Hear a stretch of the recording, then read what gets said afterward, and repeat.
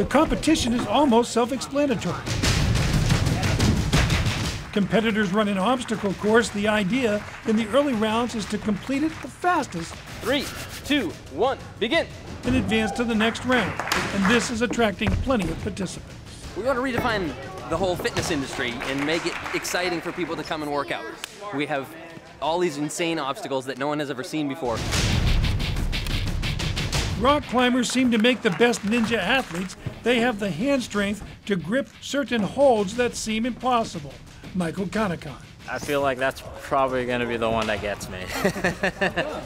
well, because I, I, know like I don't have like a whole lot of arm strength, and especially holding it like that requires a lot of effort, basically. So, but we'll see.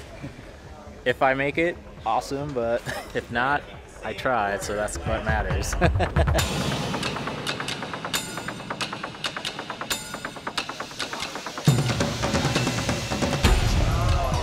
Everybody in the gym cheers for everyone else. Big bar, man. Get the bar. Nice. Well, athletes who train here have an advantage because they're more familiar with these obstacles. There's a feeling of camaraderie as each athlete tests him or herself against the course. Liz Trice only needed to complete the course to move on, so she took her time and wowed the crowd with her strength.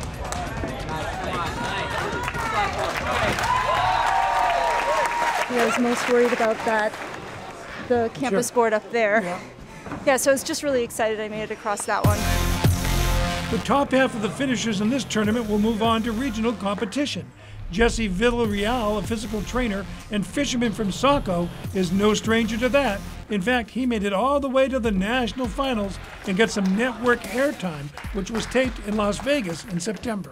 As a rookie, I came on and I kind of wowed the judges and threw them all off. Like, this guy's from Maine. You know, they have nothing up there. I thought they were all just lumberjacks and fishermen, but. Now onto the log grip. Looks like he's Velcroed on there. How'd you do on the show?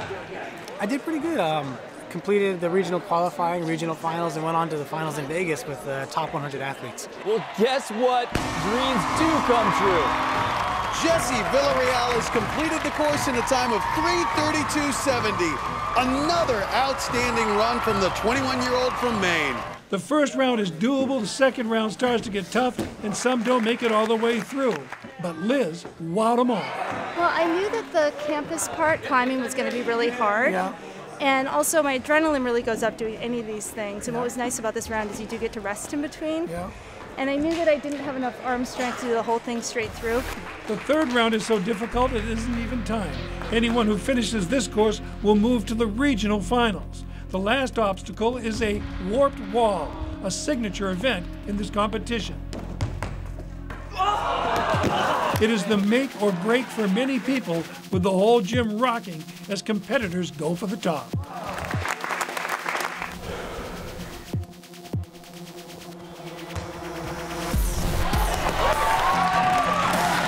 It's fun watching how those who complete the course come down.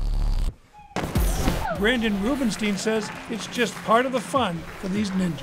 I've always loved obstacle racing, and I think Maine is such a great community of very active people, and we happen to have very long winters, and there's not really any place for both kids and adults to come and get sort of an out of the box workout experience. In the end, just five men made it all the way through. Here they found incredible challenges.